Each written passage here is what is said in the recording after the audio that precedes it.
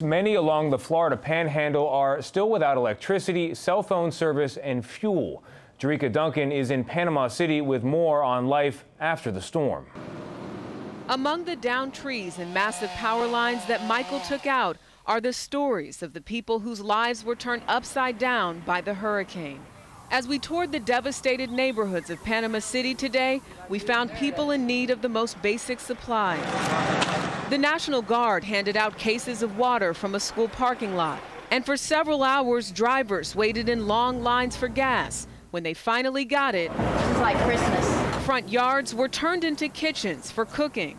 These neighbors in the Glenwood section of the city are making the best of a bad situation. I'm still in shock about that, man. 43 year old Daryl Garrett says he and his mother, who at times relies on an oxygen tank to breathe, rode out the storm in the hallway of their home, where fierce winds brought down a large oak tree on top of their roof. This is the tree that fell. Daryl's sister, Willie Mae Morgan, and her family of five are also now staying here because her house was ruined. I don't know. Whenever we get on our feet, we may have to just relocate somewhere. Do you think this community will bounce back?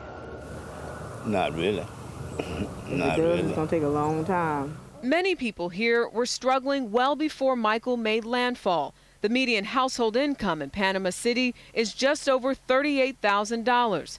22% of residents live in poverty. When you already don't have anything and have to start from the bottom up, that's going to be hard. Willie Mae Morgan is an elementary school teacher. Her husband, Curtis, a construction worker. They say they're making it one day at a time, hoping more help comes quickly.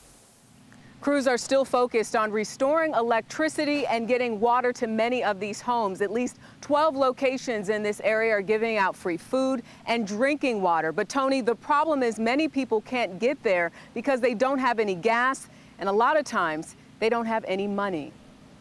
Jericka Duncan for us in the storm zone. Jericka, thank you.